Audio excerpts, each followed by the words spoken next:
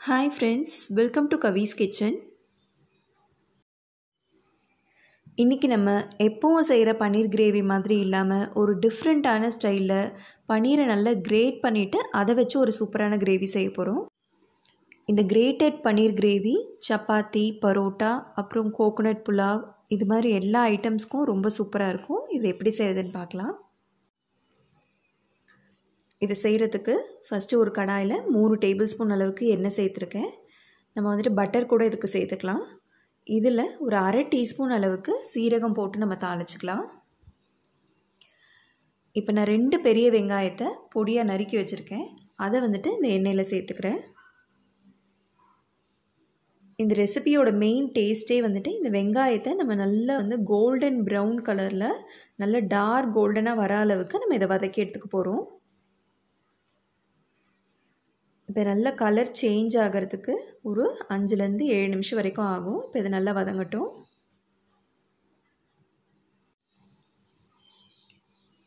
இப்போ பாருங்கள் வெங்காயம் நல்ல கலர் சேஞ்ச் ஆகிருக்கு ஓரமெல்லாம் நல்ல டார்க்காக வர ஆரம்பிச்சிருச்சு. இந்த சமயத்தில் ஒரு டீஸ்பூன் அளவுக்கு இஞ்சி பூண்டு பேஸ்ட் இது கூட சேர்த்துக்கோங்க. இப்போ இன்னும் இது கொஞ்சம் நேரத்துக்கு வதங்கணும். இப்படி வெங்காயத்தை நல்லா வதக்கிறதுனால இது நல்ல ஃப்ளேவரும் நமக்கு நல்லா சூப்பராக இருக்கும். அதே சமயம் கிரேவியோட கலரும் வந்துட்டு நமக்கு நல்லா டார்க்காக கிடைக்கும். இந்த சமயத்தில் நம்ம இது கூட மசாலாலாம் சேர்த்துக்கலாம். நான் இப்போ வந்துட்டு காஷ்மீரி சில்லி பவுடர் ஒரு டேபிள் ஸ்பூன் அளவுக்கு சேர்த்துருக்கேன். கூடவே தனியாத்தூளும் ஒரு டேபிள் ஸ்பூன் சேர்த்துருக்கேன். நீங்கள் நார்மல் பிளெயின் சில்லி பவுடர் சேர்க்குறதா இருந்தாக்கா நீங்கள் இதை ஒரு டீஸ்பூனாக கம்மி பண்ணிக்கலாம். இது அதிகம் காரம் இருக்காது அப்படிங்கிறதுனால நான் வந்துட்டு ஒரு டேபிள் ஸ்பூன் அளவுக்கு காஷ்மீரி சில்லி பவுடர் சேர்த்துருக்கேன். இப்படி நல்ல இந்த எண்ணெயிலே வந்துட்டு இந்த மிளகாத்தூளை போட்டு வதக்கிறதுனால இன்னுமே உங்களுக்கு நல்ல கிரேவி நல்ல டார்க் கலரில் கிடைக்கும். ஒரு ஒரு நிமிஷமாக இது வந்துட்டு நல்லா வதங்கிருச்சு. இப்போ இந்த சமயத்தில் ஒரு மூணு தக்காளியை நல்லா மிக்சியில் அடித்து வச்சுருக்கேன். அந்த ஜூஸை நம்ம இப்போ சேர்த்துக்கலாம். இப்போ நல்லா மிக்ஸ் பண்ணி விட்டுக்கிறேன்.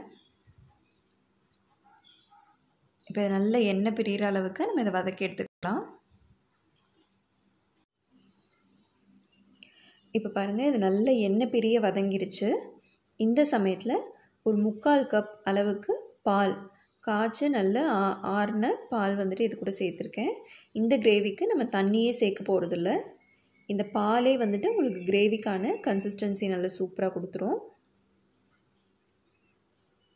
இந்த பால் ஆட் பண்ணுறதுனால உங்களோட கிரேவி வந்துட்டு நல்ல மலாய் டேஸ்ட்டில் சாப்பிட்றதுக்கும் சூப்பராக இருக்கும். இப்போ தேவையான உப்பு சேர்த்துக்கோங்க. இப்போ நல்லா கலந்துட்டு ஒரு மூடி போட்டு இதை வந்துட்டு ஒரு அஞ்சு நிமிஷத்துக்கு கொதிக்கட்டும். அதுக்கப்புறமா நம்ம கிரேட் பண்ண பன்னீரை சேர்த்துக்கலாம்.